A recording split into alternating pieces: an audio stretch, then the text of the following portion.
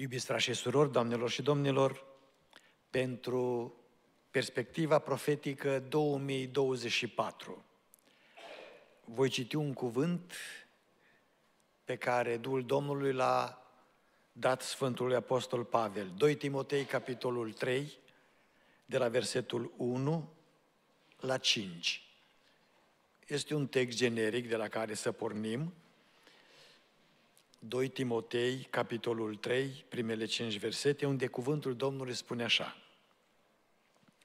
Să știi că în zilele din urmă vor fi vremuri grele, căci oamenii vor fi iubitori de sine, iubitori de bani, lăudăroși, trufași, hulitori, neascultători de părinți, nemulțumitori, fără evlavie, fără dragoste firească, neînduplecați, clevetitori, neînfrânați, neîmblânziți, neiubitori de bine, vânzători, obraznici, îngânfați, iubitori mai mult de plăceri decât iubitori de Dumnezeu, având doar o formă de evlavie, dar tăgăduindu-i puterea. Depărtează-te de oamenii aceștia. Amin. Este un pasaj clasic în profețiile despre vremea sfârșitului și este un cuvânt care descrie foarte practic societatea umană omenească în care am intrat și în acest an. Suntem în prima zi din anul 2024. Mulțumesc Domnului pentru ocazia pe care o am de a sta în fața dumneavoastră și de asemenea unei comunități mari românești care este răspândită pretutindeni și care ne urmăresc online.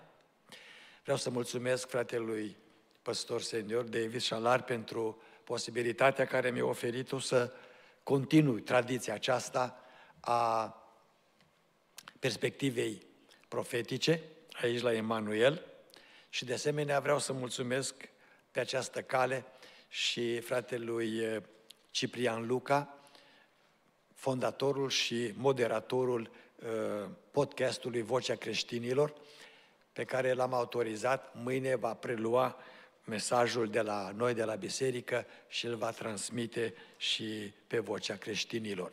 Este o ocazie să ajungem la mii și zeci de mii de eh, suflete care ne urmăresc și care sunt interesați să cunoască adevăruri despre timpurile profetice pe care le trăim astăzi. Adresa mea către dumneavoastră pentru acest an 2024, pe lângă titlul generic Perspectiv, Perspectiva profetică 2024, va fi intitulată Fi realist. Fi realist.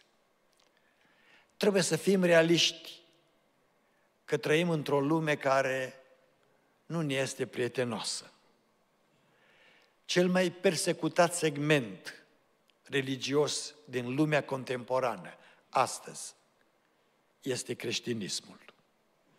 Este creștinismul. Deși este religia cea mai mare de pe pământ, creștinismul, în special cel evanghelic, este cel mai urât segment în lumea contemporană și este o persecuție continuă împotriva credincioșilor evanghelici.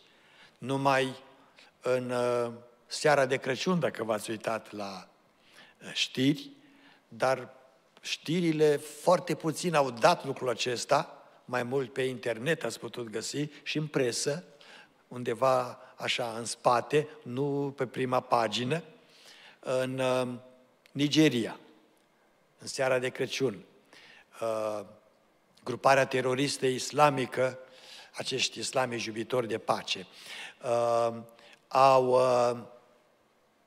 asaltat biserici în Nigeria, biserici creștine, și au maltratat și au măcelărit peste 200 de credincioși, bărbați, femei, bătrâni, copii. Religia păcii. Uh, nu vreau să fiu înțeles că sunt ironic, dar pentru că în uh, starea politică contemporană, uh, unde se ascunde adevărul, noi trebuie să spunem adevărul. Și trebuie să nu ne fie teamă să spunem adevărul, chiar dacă, știu eu, vor fi riscuri, uneori poate nu o să ne mai lase pe internet să vorbim lucrurile acestea. Uh, sunt și alte site-uri decât cele uh, obișnuite și credem că totuși uh, credința noastră este o credință în cuvântul Domnului, nu în corectitudinea politică contemporană. De aceea vă invit cu respect să stați pentru credință și să stăm pentru credință. Amin? Pentru anul acesta am să vă atrag atenția prin cuvântul Domnului și din cuvântul Domnului asupra a trei lucruri la care să dați atenție din punct de vedere profetic. Primul lucru la care vă invit să ne uităm cu atenție pentru anul în care am intrat și care știu că vă interesează foarte mult este războiul actual din Israel și Gaza. Ce deznodământ va avea acest război? Ce ne spune cuvântul Domnului în această privință? Fără pretenția de a fi dogmatic. Aș vrea să vă prezint în această privință a războiului din Israel, pe scurt, ca să ne încadrăm în, într-un timp de o oră, o oră și zece minute probabil, um, asupra a cinci posibilități de deznodământ cu privire la războiul din Israel. O posibilitate este ca acest război dintre israeliți și um, teroriștii islamici Hamas din Gaza. Este posibil să ducă la o escaladare care să atragă în conflict Siria. Siria. Și conflictul acesta să ducă în final la căderea Damascului. Pentru aceasta vă invit, citiți cu atenție Isaia capitolul 17, unde profeție în această direcție este prezentată cu multe detalii. Uh, faptul că sirienii sunt uh, la ora actuală uh, măcinați de război civil de câțiva ani de zile și faptul că guvernul sirian este un guvern nepopular în Siria, dar este proptit de Rusia și de Iran, care, ca să ajute guvernul să rămână în putere, a făcut baze rusești în Siria și, de asemenea, baze militare iraniene. Și pe lângă bazele militare rusești și iraniene, în uh, Siria mai există baze de tot felul de uh, populație arabă, teroristă, care face parte din uh, um, organizația teroristă Hezbollah, Partidul lui Dumnezeu. Uh, n-am știut că Dumnezeu are criminali în partidul lui, uh, dar Hezbollah este un partid criminal, este o organizație teroristă criminală, uh, care este înarmată și sponsorată de către Iran. Rusia, care vrea să controleze Orientul Mijlociu și uh, resursele energetice ale lumii, care sunt concentrate în mare parte în Orientul Mijlociu, este bucuroasă să controleze uh, situația din Siria și să atâțe mereu Hezbollah și pe sirieni ca să facă câte o incursiune în Israel și mai ales uh, să lovească în uh, înălțimile Golan, care în războiul din 1967 au fost luate de către uh, evrei, pentru că până atunci erau ținute în autoritatea uh, Siriei, dar, sigur, istoric știm că ele, uh, înălțimile Golan sau Bașan, cum sunt numite în Scriptură, au aparținut lui uh, Israel și Israel a reintrat în posesia lor în războiul din 1967. Acum dați-mi voi să vă spun un lucru pe care cred că cel mai mulți îl știți. Când o țară este atacată de o altă țară și este provocată ca țara care este atacată să declare și ea război, să se apere. Conform normelor internaționale de război stabilite prin consens internațional la Geneva, în Austria, în uh, Elveția. Conform normelor internaționale de război, țara care a fost atacată are dreptul să se apere și are dreptul să intre cu forțe până în teritoriul țării care a atacat-o. Și dacă intră cu forță în teritoriul țării care a atacat-o și ocupă teritoriul de acolo, are drept internațional să-și anexeze acel teritoriu ca și aparținându-l ei. Noi suntem în uh, California. A cui a fost California? A Mexicului. Dar dacă s-au întârâtat la război și au atacat uh, Alamo, uh, Texasul și au venit apoi până uh, în uh, California, Ehm, Statele Unite a, a biruit în război, a ocupat California și California este teritoriu american. Ehm, așa cum vedem și astăzi. Asta este o lege a războiului. Și ehm, cu toate acestea, Israelul este singurul stat din comunitatea internațională care, prin gălăgia de la ONU, în toate rezoluțiile lor îi spun lui Israel că Israel este o țară cu statut de ocupant, să se retragă din ținuturile ocupate. Care ținuturi ocupate? Dacă au pus mâna pe înălțimile Golan, ă, acum aparțin lui Israel, după legea internațională a războiului. Și Națiunile Unite ar trebui să-și ă, revizuiască poziția și atitudinea, dar pentru că uh, petrolul din Orientul Mijlociu vorbește, uh, totdeauna poziția este una uh, duplicitară și evrei vor fi întotdeauna urâți și vor fi uh, atacați ca un popor care uh, abuzează de vecini. Nu este drept lucrul acesta, uitați-vă în istorie, uitați-vă în legea popoarelor și veți vedea că lucrul acesta nu este adevărat. Și atunci, gândindu-ne la războiul care este acum, pentru faptul că Siria este încurajată mereu de Rusia și de Iran și de Hezbollah să se întingă și să lovească în Israel, uh, este posibil ca războiul să se întindă și Siria să fie nimicită, mai ales Damascul. Uh, încă o dată citiți Isaia 17. Al doilea aspect în războiul acesta, frați și surori, doamnelor și domnilor, este ca, de asemenea, conflictul să se întindă uh, internațional și Psalmul 83 să se împlinească.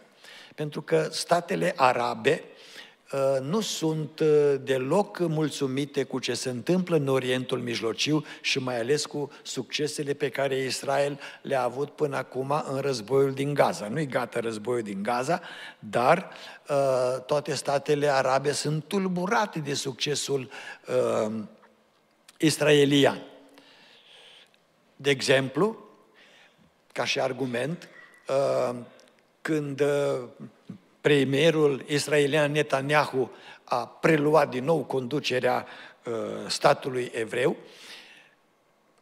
s-a, s-au reluat discuțiile, s-au relansat discuțiile foarte avansate de uh, tratative de pace cu Arabia Saudită. Arabia Saudită fiind una dintre puterile arabe cele mai influente din zonă, mai ales că acolo este capitala uh, lumii uh, religioase islamice, Mecca, nu?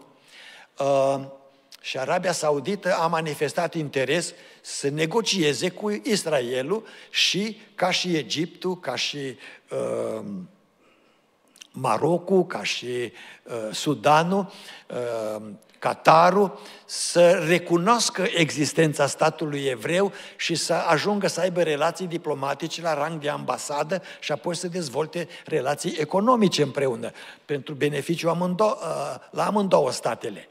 Dar odată cu războiul din Gaza, aceste negocieri s-au oprit.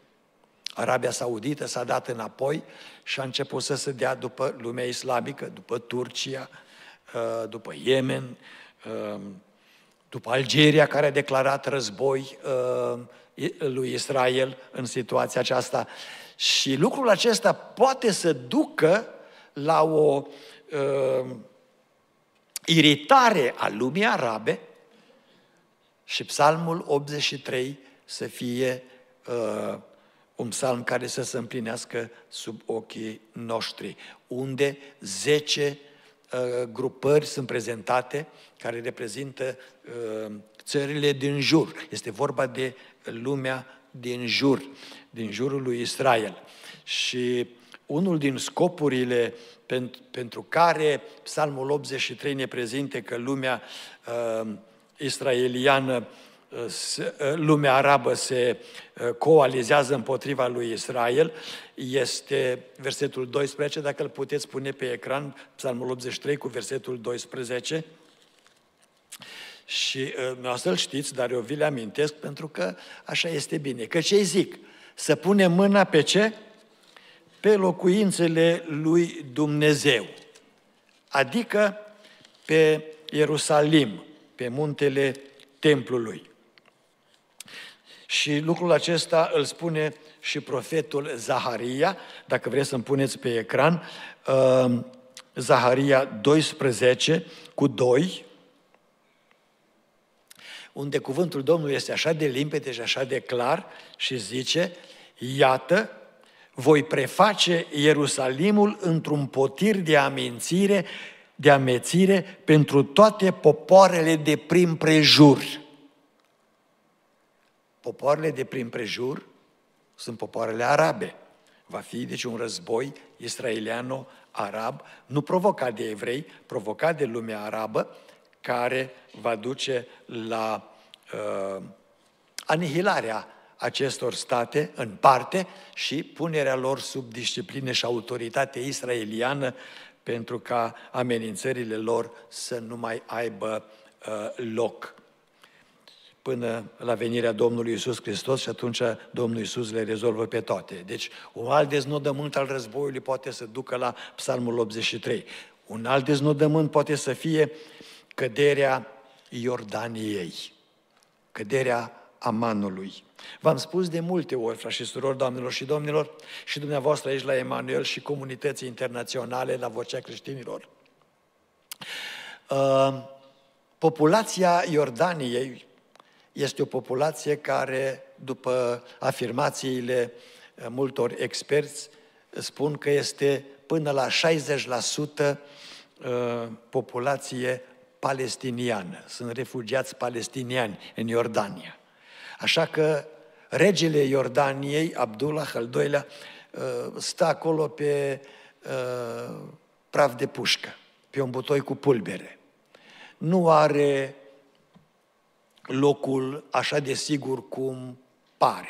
Chiar dacă are tratat de pace cu uh, Israelul, acum cu războiul din uh, Israel și Gaza, printre primii care uh, s-au declarat foarte războinici a fost regele Iordaniei, care a afirmat că dacă Israel nu încetează ostilitățile din Gaza, au limbaj simpatic. Dacă nu încetează ostilitățile din Gaza, uh, Israel uh, va trebui să înfrunte mânia Iordaniei. Hmm. Turcii au spus la fel, algerienii au spus la fel. Al cuvântul Domnului în această privință este foarte clar.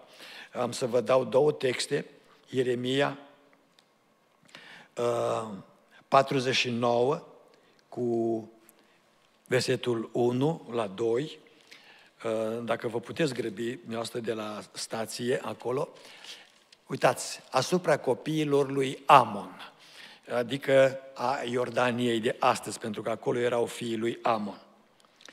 Așa vorbește Domnul. Auziți, n-are Israel fii? Ba da, are. Și n-are moștenitori? Are și moștenitori. Atunci, pentru ce stăpânește Malcolm Gadul? Deci, cealaltă parte a lui Israel, de dincolo de Iordan, unde s-a așezat Gadul, și, Gad și cu jumătate din seminția lui Manase.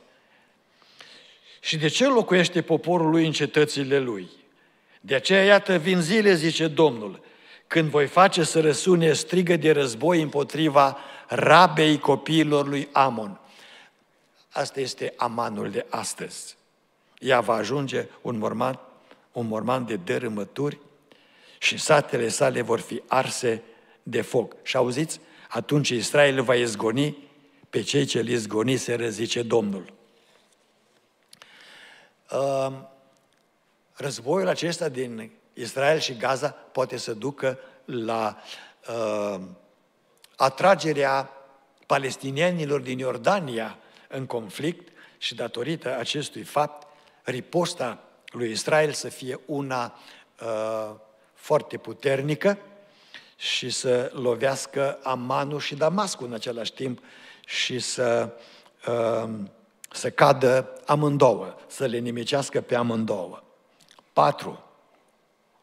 Războiul din Israel și Gaza, datorită sponsorării lui Hamas și a lui Hezbollah de către Iran, poate să ducă la o măsură uh, specială pe care Israel să o ia și să lovească Iranul. Ieremia 49, 35 la 39. Este vorba de căderea Elamului, adică sud-vestul uh, Iranului de astăzi, unde sunt bazele militare iraniene cele mai sofisticate și unde este baza nucleară iraniană. Uh, și Israel va lua măsuri preemptive uh, pentru ca Iranul să nu apuce să lovească el în uh, Israel și să-l uh, incapaciteze de a-și putea folosi uh, rachetele cu care este bine dotat. Um, poate să ducă la acest conflict, că n-a avut loc niciodată în istorie, dar cuvântul Domnului, dacă citiți cu atenție, Ieremia 49, 35 la 39, va duce tocmai la un astfel de război, la lovirea Iranului și la incapacitarea lui pentru o vreme. Și lucrul acesta îl va face pe Iran să se înfurie, să investească mult ca să se ridice militar și economic și, bineînțeles, ajutat de Siria, apoi să ducă la războiul teribil despre care vorbește Scriptura, războiul lui Gog și Magog, uh, prietenul dumneavoastră, uh, și uh, în acest război Israel nu va fi amestecat, chiar dacă vor veni pe munții lui Israel câtă frunză și iarbă, Dumnezeu va interveni supranatural în acest război și va nimici uh, toate trupele comasate împotriva lui Israel. Și apoi este a cincea variantă a războiului din Israel și Gaza, și anume, vă rog să fiți atenți la aceasta pentru că v-am vorbit puțin despre ea. Uh, și mă tem că e posibil ca aceasta a cincea să fie uh, cea mai uh, populară în lumea politică contemporană. Anul acesta, posibil. Și anume, impunerea forțată a unui tratat de pace între Israel și palestinieni, deci o impunere forțată de către Națiunile Unite, America, Uniunea Europeană, Rusia și China, uh, și țările arabe, bineînțeles, a unui tratat de pace, deci să oprească războiul, să facă un tratat de pace și în acest tratat de pace să convingă pe evrei să semneze crearea unui stat palestinian. Sunt două profeții în Scriptură care ar vorbi în această direcție. Eu am să vi le prezint pe amândouă. Prima pe care vă prezint este Ioel, capitolul 3, versetele 1 și 2. Dacă puneți pe ecran Ioel, capitolul 3, versetele 1 și 2, uitați ce spune cuvântul Domnului.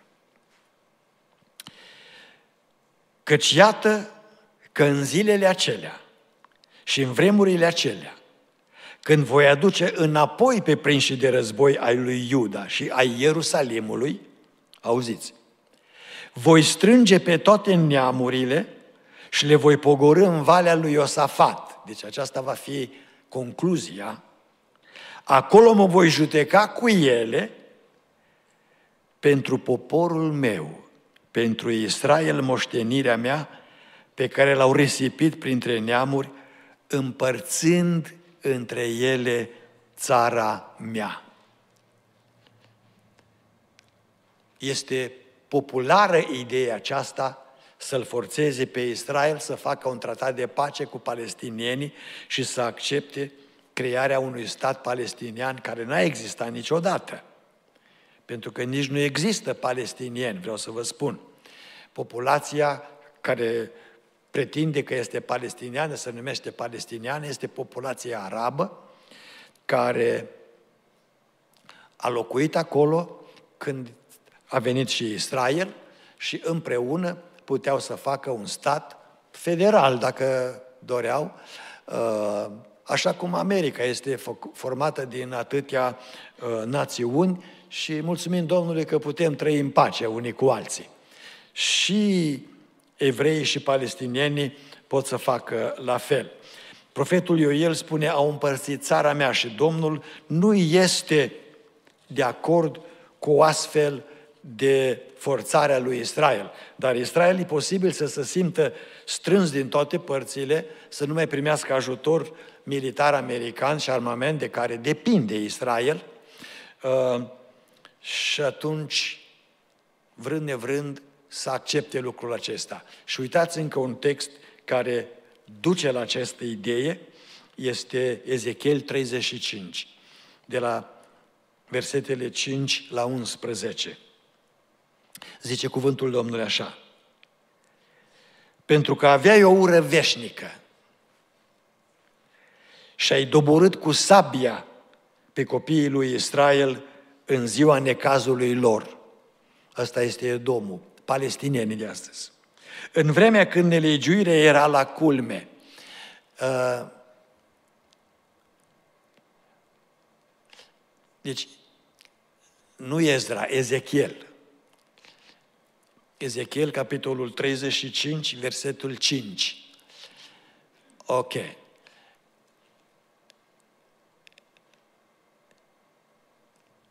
Zice aici, în, în engleză, dacă vă uitați, au intervenit asupra evreilor on the time of their final punishment, adică când au fost pedepsiți deja, ultimul lor punishment a fost în timpurile noastre Holocaustul hitlerist. Și cu toate acestea, palestinienii, ca și în 7 octombrie anul, anul trecut, au venit peste ei. Și i-au măcelărit pe evrei, 1200 de oameni. De aceea pe viața mea, zice Domnul Dumnezeu, că te voi face sânge și te va urmări sângele. Fiindcă, fiindcă n-ai urât sângele, de aceea sângele te va urmări. Voi preface muntele Seir, asta, este că, asta înseamnă că implică și Iordania, într-o pustietate și într-un pustiu și voi nimici cu desăvârșire din el și pe cei ce se duc și pe cei ce se întorc. Îi voi umple munții cu morți și cei uciși de sabie vor cădea pe dealurile tale, în văile tale și în toate puh- uh, puhoaiele tale. Te voi preface în niște pustietăți veșnice, cetățile nu vor mai fi locuite și vei ști că eu sunt Domnul. Și acum fiți atenți. pentru că ai zis, versetul 10, aceste două neamuri și aceste două țări vor fi ale mele și voi, le voi lua în stăpânire, măcar că Domnul era acolo.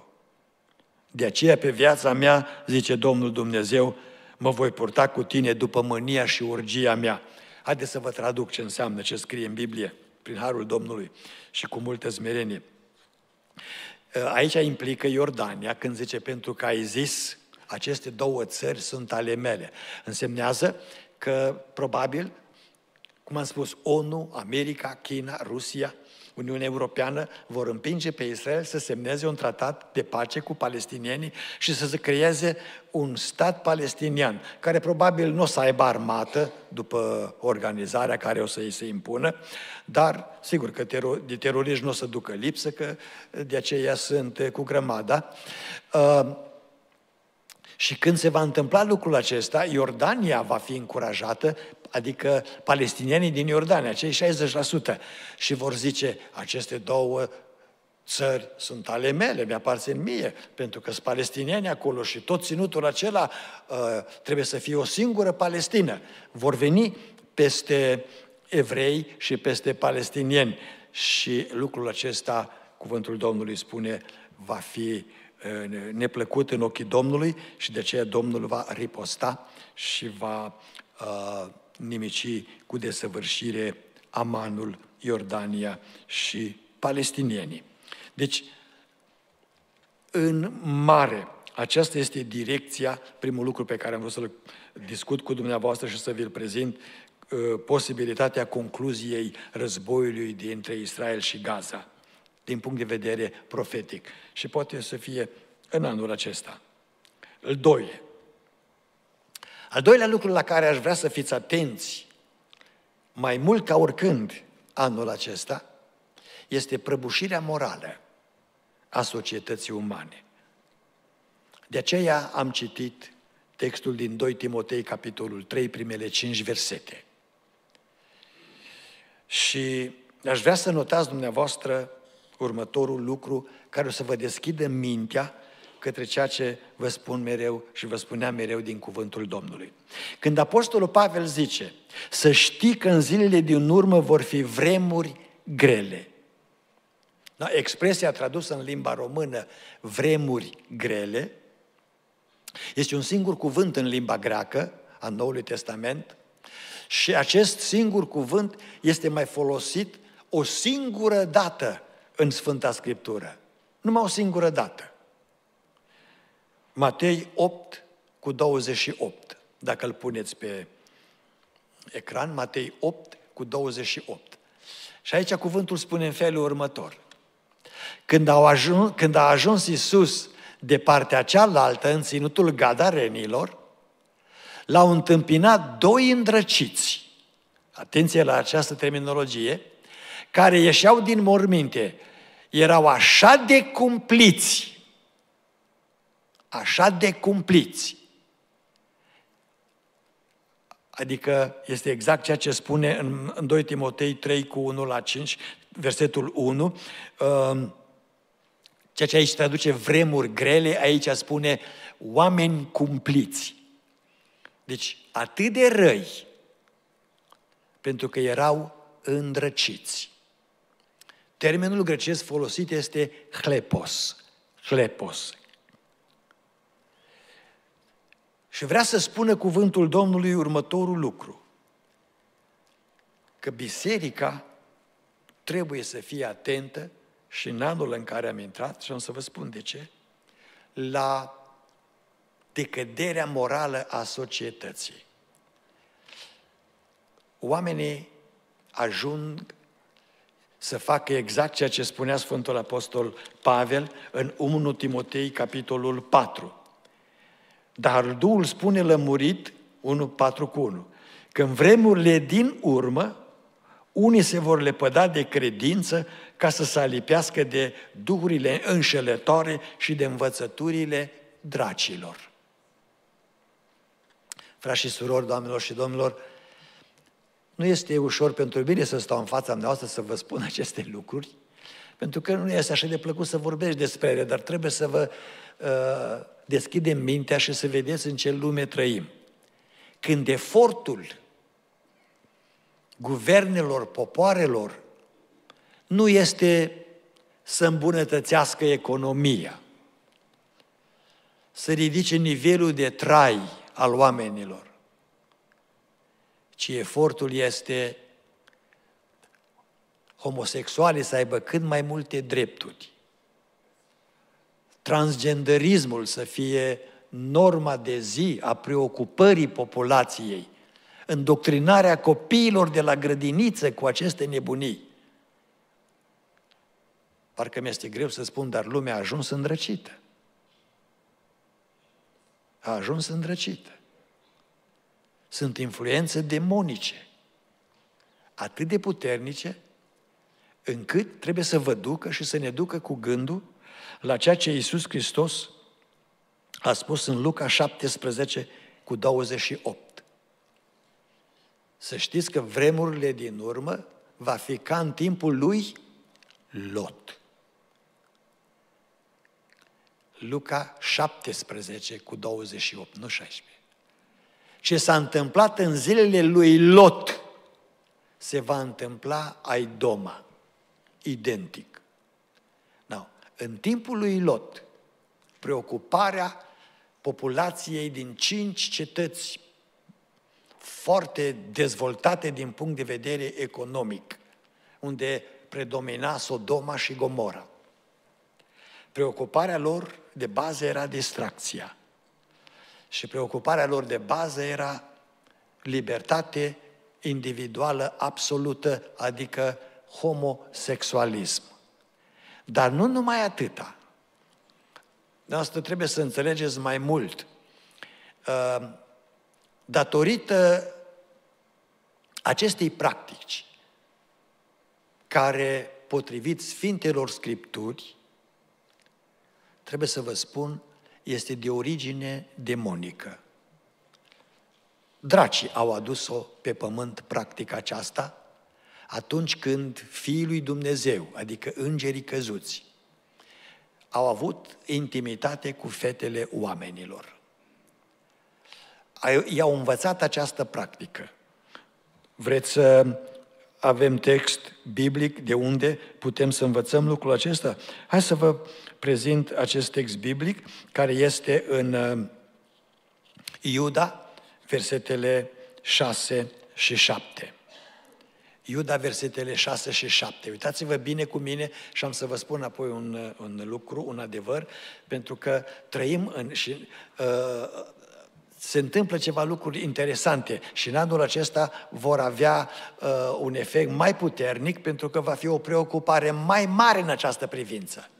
Uitați ce spune Iuda 6 și 7. El, Dumnezeu, a păstrat pentru judecata zilei celei mari, puși în lanțuri veșnice, în întuneric, pe îngerii care nu și-au păstrat vrednicia.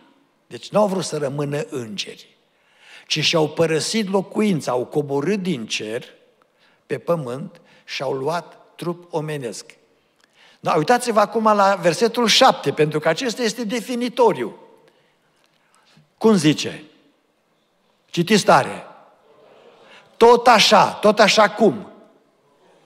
Ca ce s-a întâmplat mai înainte, pentru că asta este scopul tot așa. Ce s-a întâmplat în versetul 6.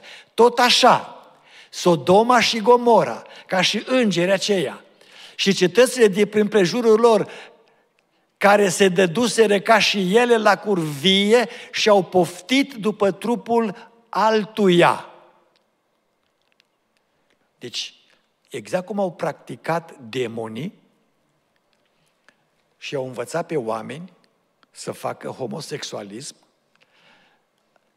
cuvântul Domnului spune lucrul acesta se va repeta din nou în vremurile din urmă și va fi ca vremea lui Lot. O spune Iisus Hristos. În Luca 17 cu 28. O spune Iisus Hristos. Uh, și vreau să vă întreb, observați că aceasta este preocuparea astăzi? Și este așa de mare preocupare încât dacă n-ați dat atenție la știrile din săptămâna Crăciunului, că nu putea altcândva să vină o hotărâre de felul acesta. În săptămâna Crăciunului, a nașterii Mântuitorului Iisus Hristos, Papa Francisc, al Bisericii Romano-Catolice, a dat un decret către toți preoții romano-catolici și episcopi și cardinali și toată conducerea uh, bisericească să privească de bine homosexualismul și să binecuvinteze perechile homosexuale. Ați auzit bine ce v-am spus? Când la nivel de biserică este preocupare în această privință, Apostolul Pavel este drept. Părăsesc oamenii învățătura sănătoasă și să alipesc de duhurile dracilor. Și Domnul Iisus a, scris, a spus, fiți atenți, vremurile din urmă vor fi ca și în timpul lui Lot. Aveți grijă de copiii voștri, pentru că în școală îi va învăța nebunia aceasta. Uitați ce se întâmplă în vremurile din urmă. Ehm, Daniel 2 cu 43. Știți versetul acesta, dar vi-l prezint din nou. Daniel 2 cu 43. Ehm, Cornilescu traduce așa. Dacă ai văzut fierul amestecat cu lutul, înseamnă că se vor amesteca prin legături omenești de căsătorie. Să vedem traducerea englezească. Another in marriage. Um, dacă puneți New International Version, aveți New International Version? Ia să vedem. Până atunci vă citesc Fidela, că am înțeles că vă place mult Fidela. Uitați ce spune Fidela.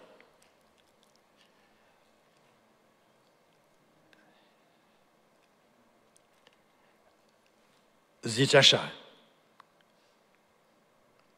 Și pentru că ai văzut fier amestecat cu lut noroios, ei, cine sunt aceștia ei? Apar dintr-o dată în discuție. Aceștia ei sunt demonii, dracii. Se vor amesteca cu sămânța oamenilor. Frați și surori, doamnelor și domnilor, dacă spune că se amestecă cu sămânța oamenilor, însemnează că ei nu sunt oameni. Pentru că este, o, este un amestec între două sămânțe diferite. De ce spune sămânța oamenilor? Ei. Acești ei sunt de o altă sămânță, au o altă sămânță.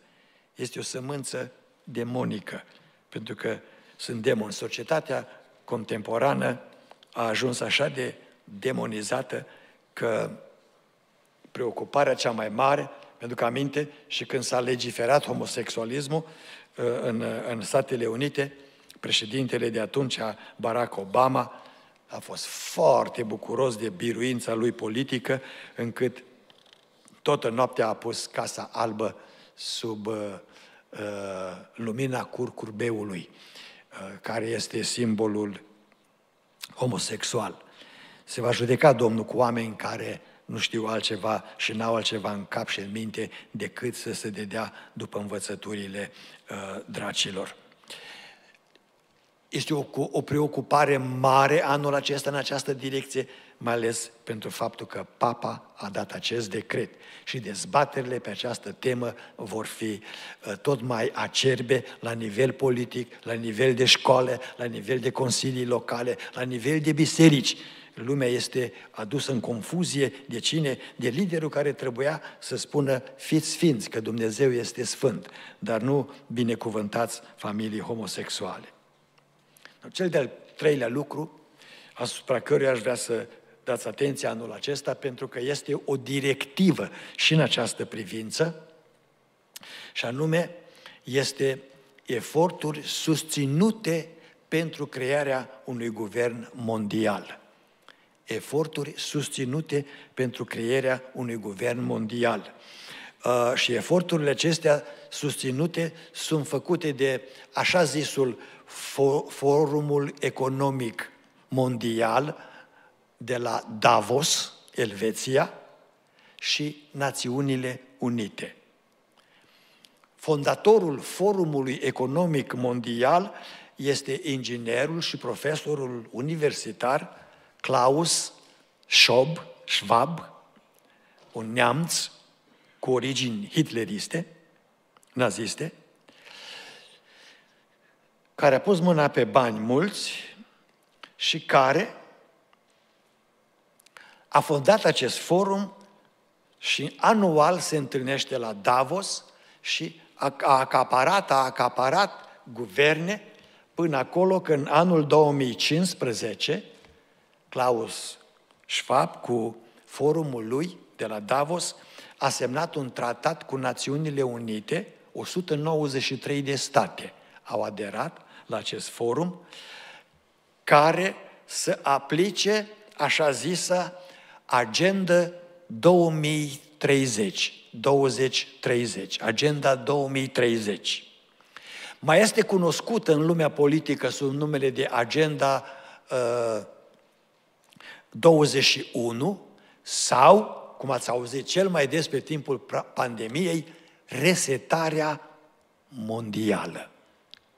Ce însemnează resetare mondială? Însemnează punerea lumii sub un guvern unic, neales de populație, ci impus de forțe uh, economice uh, și politice uh, influente și aducerea lumii într-o stare de comunism de tip chinez. Uitați ce spune uh, acest Klaus Schwab despre pandemie, de exemplu. Pandemia reprezintă o fereastră rară, dar îngustă ca timp, pentru a reflecta la oportunitatea de a reimagina societatea umană și de a reseta lumea noastră.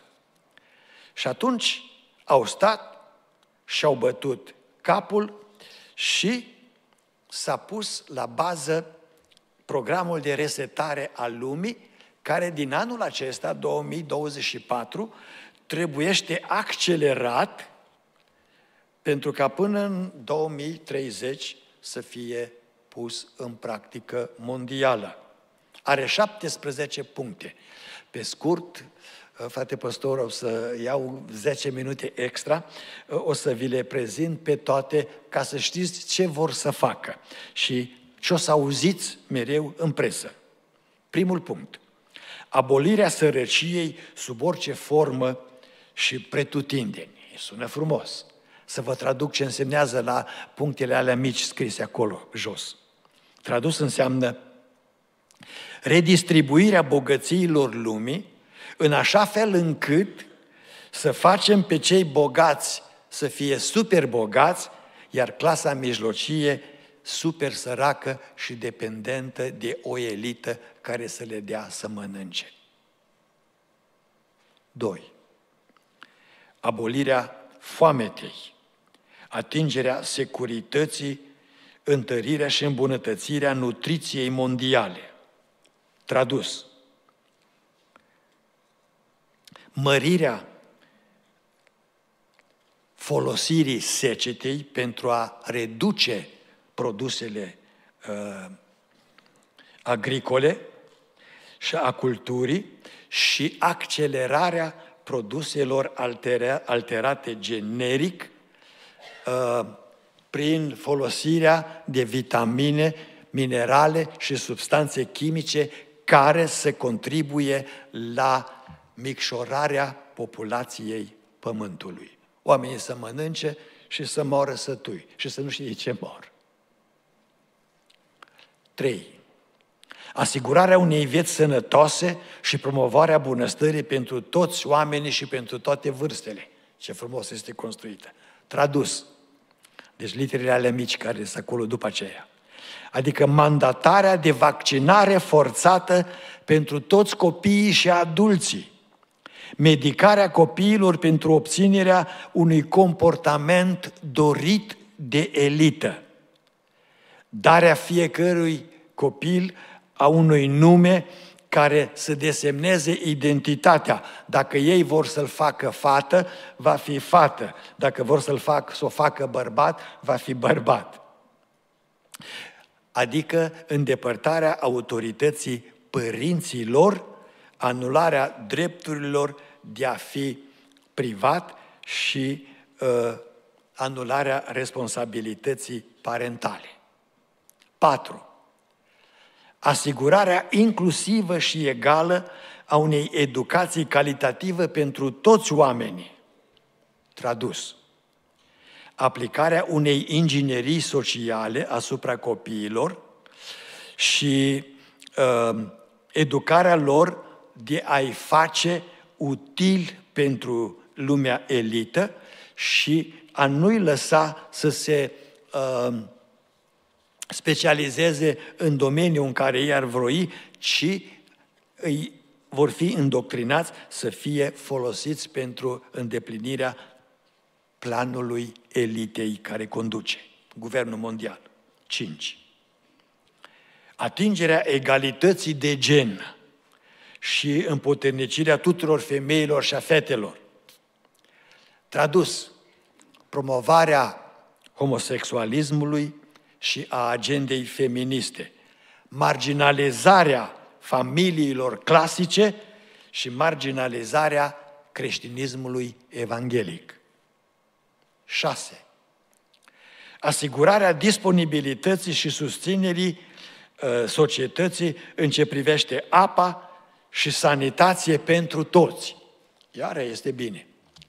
Tradus cu litere mici scrie toată apa potabilă să fie controlată de corporații mari și de guvernele locale, toate râurile să fie controlate și populația care are fântână în curte să plătească taxe mari pentru apa de fântână ca să nu mai folosească fântâna și să folosească apa de la rețea, în care pun substanțe să se moare cât mai mulți.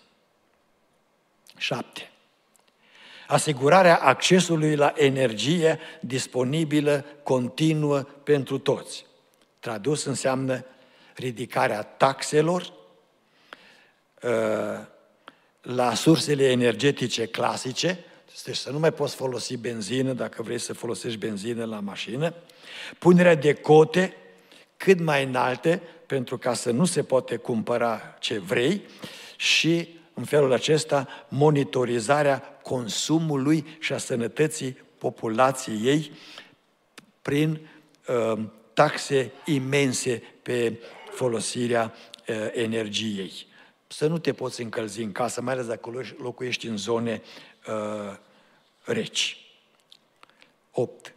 Promovarea susținută, inclusivă, a creșterii economice, asigurarea unui loc de muncă pentru toți, Tradus, însemnează mandatarea unui salariu minim, acceptarea acestuia și certificarea lui, introducerea unei cote de ore pe angajat care nu ține cont de calificarea acestuia.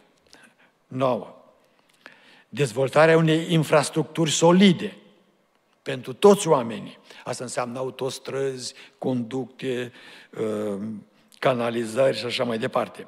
Tradus, aplicarea de schimbări în infrastructura oricărei țări, impunerea de acceptare a unei datorii externe imense, țările sunt forțate să împrumute bani ca să fie datoare la Banca Mondială și la banca controlată de elită și în felul acesta țările să fie controlate cât să cheltuiască și ce să facă. Cum e România la ora aceasta? E dintr-o țară care nu avea nicio datorie, 30 de ani în urmă are peste 100 de miliarde datorie. 10. Reducerea inegalității dintre țări. Tradus, impunerea de acorduri economice internaționale, cum sunt NAFTA, GAT și așa mai departe, în beneficiul marilor corporații. 11. egalitatea și inclusivitate pentru orașe și asezări umane, siguranță și autosusținere. Tradus însemnează construirea de orașe și zone rurale unde populația să fie forțată să locuiască, fără posibilitatea să ai proprietate uh, personală, privată, uh, și unde să fii monitorizat 24 de ore, 7 zile pe săptămână, filmat la orice mișcare, inclusiv în baie. 12. Asta mergem spre mai bine. Asigurarea necesarului pentru consumul populației și uh, producerea acestui consum. Tradus înseamnă introducerea uh, unei cote de consum. Se introduc din nou cartelele, frați și sură, doamnelor și domnilor. Introducerea unei cote de consum și penalizarea aspră a celor care depășesc aceste cote. 13. Introducerea de legi care să combată schimbări la normele impuse de societate. Tradus înseamnă dacă îi se pare că elitei care conduce că pisica care o ai în casă uh, emite carbon și se strică, uh, vorbesc exact ce scrie, uh, și strică temperatura, ești amendat, usturător și pisica este trimisă la cele veșnice. 14. Societatea este ridicolă, dar acolo este. Asta este formul de la Davos și Națiunile Unite. Prezervarea și folosirea responsabilă a oceanelor, a mărilor și a resurselor marine de toți oamenii. Tradus, impunerea de aprobări speciale uh, și cote pentru pescuit, nu mai ai voie să pescuiești de unul singur, individual, nici tu, nici familia va trebui să cumperi tot de la centrala care va răspunde de uh, produse marine. 15. Protejarea, restaurarea și promovarea de metode pentru susținerea ecosistemului. Menajarea pădurilor, combaterea deșertificării, deci împădurire, tradus. Garantarea obținerii oricărei semințe și acum vă rog să fiți atenți, pentru că uh, vă puteți, puteți intra pe internet și vedeți ce vă spun acum. Uh, uh, colectarea de grâu, de orice semințe și prezervarea acestor semințe în Norvegia. În Norvegia este o insulă la 1300 km nord de cercul polar de nord. Insula se numește Svalbard. Svalbard este un loc unde niciodată nu se dezgheață pământul, este permafrost, tot timpul este înghețat și acolo s-au săpat niște uh, buncăre imense, există la ora aceasta în, Salv, în Svalbard și în buncărele acestea, pentru că este înghețat veșnic, sunt prezentate toate semințele pământului. Că în caz că se întâmplă ceva pe pământ, chiar un atac nuclear și totul se distruge, dacă uh, elita trăiește, se va duce în Svalbard, va lua sămânță de acolo și va avea din nou elita cu ce să trăiască, va avea sămânțe cu care să-și producă uh, grâu și tot. Uh, așa de bine se gândesc la oameni și așa de pregătit sunt oamenii. 16. Promovarea de societăți pașnice și inclusive care să ducă la o dezvoltare susținută a societății umane asigurarea dreptului individului. Tradus, înseamnă întărirea sistemului politic și polițienesc, încât nimeni să nu poată să facă nimic fără să nu fie filmat, fără să nu se știe unde se duce și fără să aibă o aprobare specială pentru locul unde se deplasează. Și 17, ultimul, întărirea mijloacelor de implementare și revitalizare a parteneriatului global. Adică, tradus, însemnează anularea oricărei suveranități uh, naționale și supunerea întregii populații la un guvern global. Dacă cineva se opune, va fi eliminat, iar motoul cu care Forumul Mondial, o Economic Mondial lucrează este surprinzător. Dacă vă uitați pe internet, motoul lor este aceasta. Voi nu veți avea nimic, dar veți fi fericiți. Frumos moto. Asta, asta, este, asta este exact ceea ce spun, spun comuniștii. Luăm, vă luăm toate, naționalizăm, pentru că vrem să facem societatea omenească egală, pe toți egali. Egal săraci. Egal săraci. Nu veți avea nimic, dar veți fi fericiți. Uh,